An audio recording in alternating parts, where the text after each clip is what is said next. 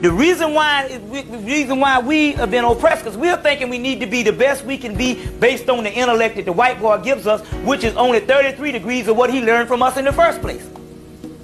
But we don't understand the reason why we're oppressed is the simple fact that we have gotten that we have lost the aspects of spirituality. Now, when we still say black people are more spiritual, no, you were talking about based on fundamentalism how you feel. Yes, the spirit is in you. That's called educare, to draw out. You got the 360 degrees in you. But that's to draw out.